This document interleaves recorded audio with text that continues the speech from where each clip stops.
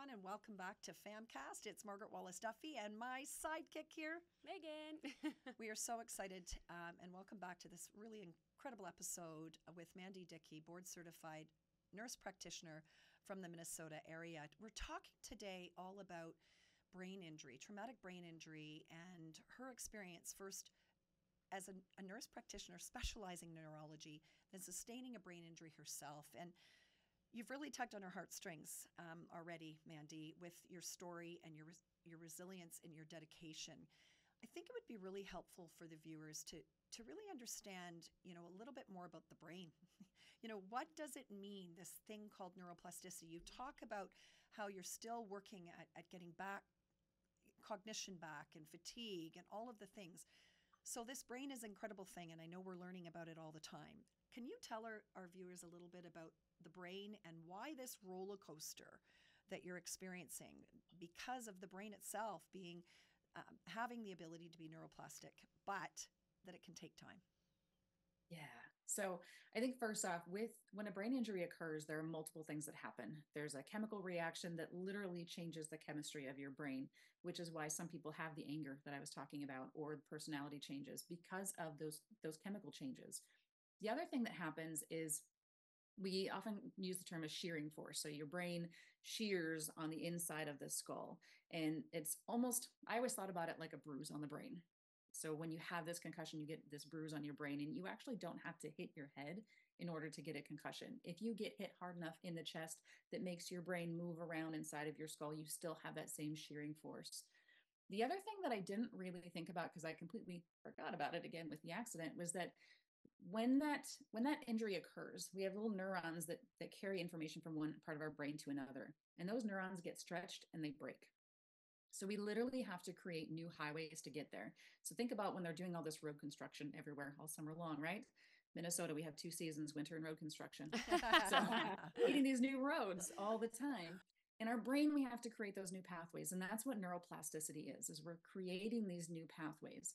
So when i mentioned that my my memories were gone and i couldn't access things it's because literally the brain the bridge between those neurons had broken and i needed to recreate those so it was all of the the the therapies the the traditional therapies the complementary therapies everything that got those roads rebuilt and, and continue to rebuild those roads.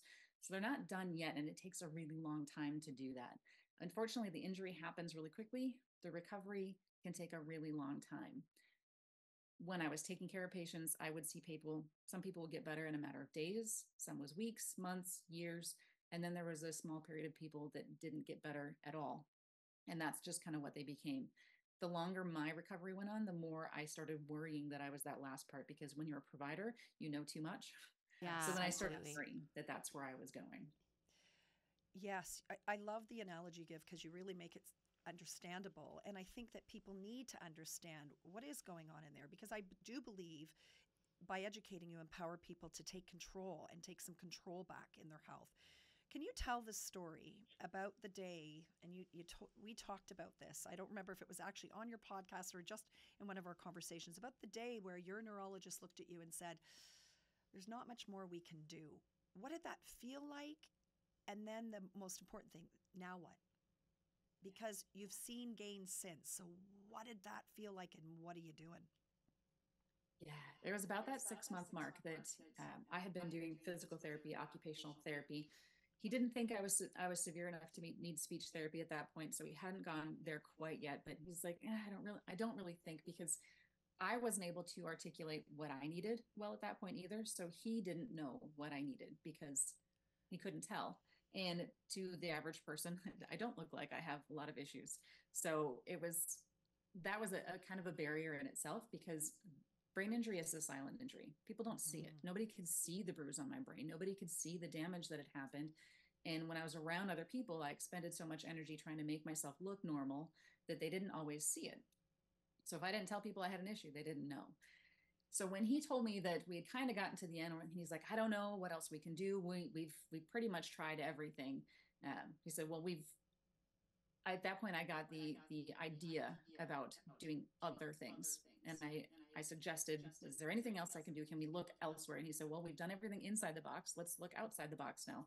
meaning that traditional medicine box, right? Mm-hmm. And I can tell you for I've listened to podcasts for years, probably a decade or more, and I've heard about red light therapy. I've heard about all these other other tr- treatments that are possible, but I never had access to them. And when the injury happened, I couldn't remember all the things that I had heard. So I didn't even know they were out there until Dr. Sinacropi reached out to me. So you've had him on your show. Yes. He's been on my show. He was my boss. he hired me at the Spine and Brain Institute and he headed up Hypercharge Clinic. And once they got it going and up and running, he called, we talked and he said, when you need to get in here, you need to get treated because you, we need to get you back on the team. And it was that opportunity that I thought, you know what, here's my opportunity. I'm not going to waste this. Let's let's do it. When I'm in, I'm all in. So whatever three, treatment therapy it is that I'm trying, I'm trying it 100%.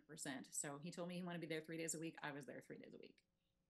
Amazing. That's unbelievable. Yeah. Yes, and shout out to Dr. Sinacropi because we wouldn't be having this conversation if it wasn't for him. Um, I was an honor to be on his podcast as well. And, you know, when you think about the brain in that manner, and as you said, thinking outside the box, and you and I both talked about this, this whole movement of preventative and integrative health is about actually just getting rid of the box, in my opinion. Like, why are we in boxes or silos? It is so long overdue that healthcare, those silos are broken down and that we're working better together. Everybody has their specialty, but if we break down those silos and we start linking arms and layering the tools, change happens. And that's what you started to see once you started to layer those tools. Um, which we're going to get into in the in the next segment. We're going to really talk about like what are those tools? What did that do for your mental health and your your the hopefulness of prognosis and recovery as a, as a patient when you finally started to realize, oh, wait a minute, there's a life preserver. Maybe there's something to help. You know, from day one, when I sat in the in the chair and had the the photobiomodulation, the structured water, the the PEMF mat, all of those started clearing away some of the, the fog that I'd had for six months. And I walked away from that with a, a decreased headache, with the ability to tell my friends what I had done in clinic that day. And that was huge because I couldn't remember from my clinic appointments to home to tell my husband what I was what was going on, much less wait hours to tell somebody over the phone what I had done. That day I thought, you know what, if this is placebo, that's great. I will take it because I needed that win. But I never went back to what I was the day before. It just kept getting better from there. And I needed, I so badly needed that that glimmer of hope because I was pretty much in the depths of despair up to that point because I thought my career was gone, my family was forever going to be changed. I was never going to be able to contribute anything anymore. And I pretty much thought I was useless. So knowing that I was useful and this was going to get better and there was hope and there was light at the end of the tunnel, I needed that so badly. I, I'd like to just ask you a quick question.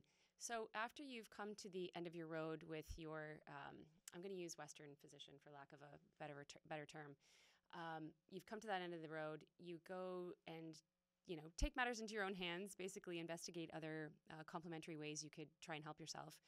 Did you go back and have a conversation with that Western physician and say, "Hey, this is what happened, and this is what I did, and I'm only telling you because."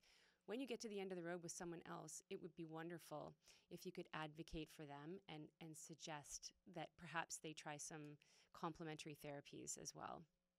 Absolutely, I did. I I haven't stopped seeing him, and he, well, he was a friend of mine as well. I worked with him before in in our neurology group, um, so I knew him personally. I knew him as a friend, and then he was my practitioner. And I've gone back to him with everything that I've done. And when I went back that first day and told him how I how I had been changed immediately, he started looking it up. He pulled it up so that he could do research on the clinic himself because he wanted to know more about it.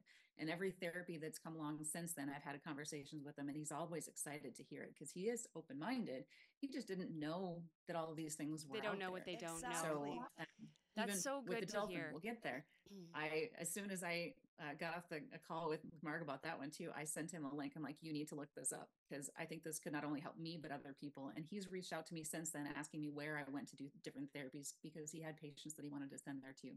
But this is this is amazing because it's there's physicians like Dr. Sinacropi, there's physicians like your doctor who I'm sorry I don't I don't real know his name, but um but these people are going to be leading the charge Yes. because there's no ego there. It's it's not they they people have to know that there's a scope that they know.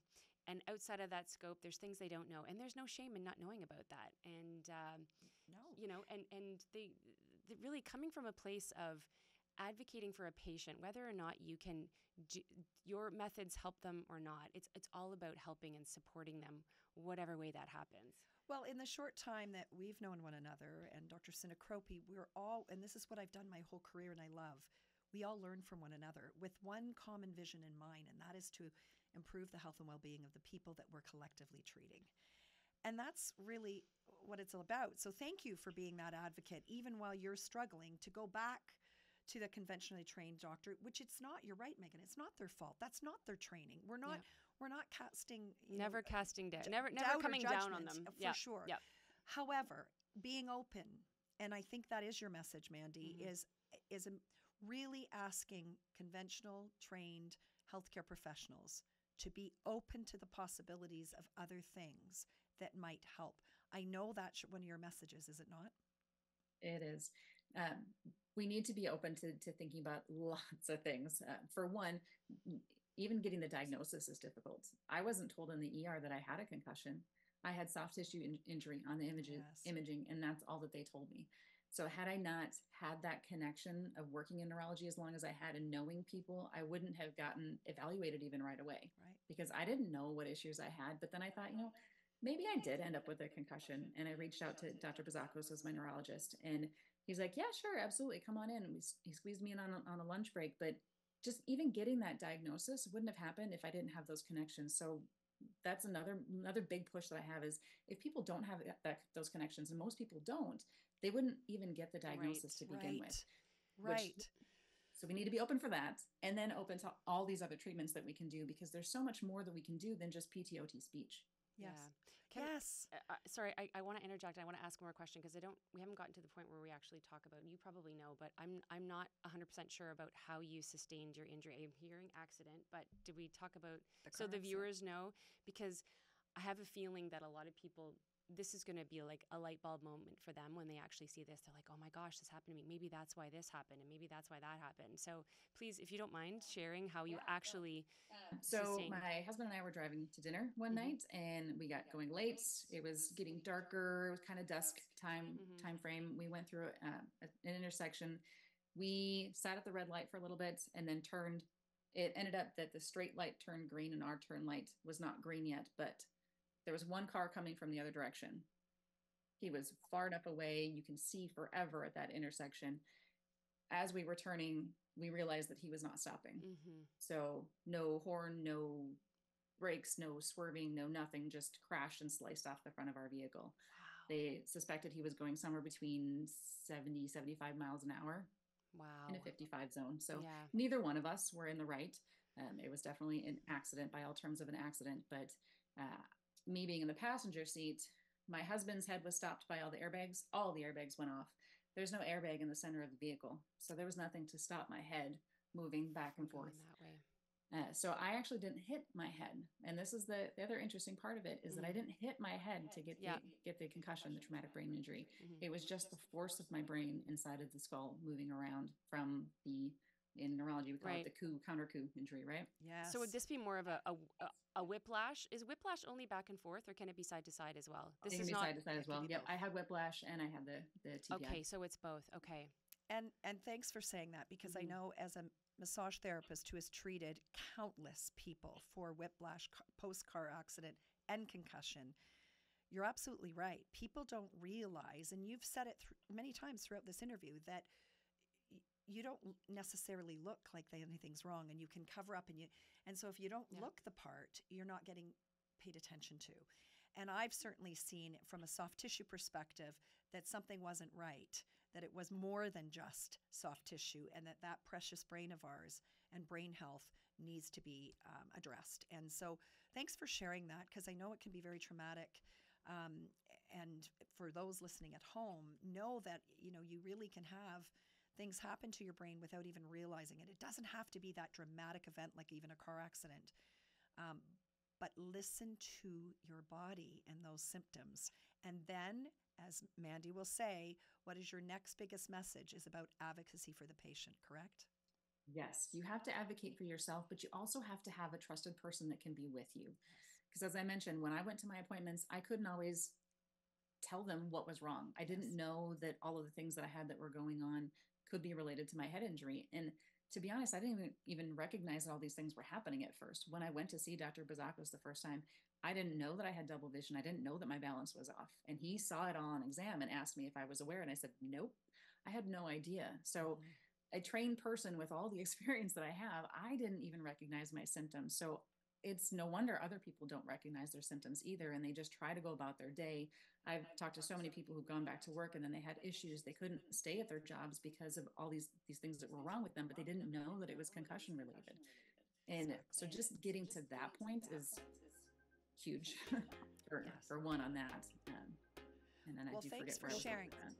Oh, that's That's okay. all right. That's okay. it's good for us to interject. Because we're going to take a break here in a minute. And when we get back in the third segment, we're going to really dive into that layering of tools. What's in Mandi's toolbox? What can we put into your toolbox? And how can we help you take better care of your brain and mental health? Thanks for joining us. Stay tuned. We'll be right back here at PHAMCAST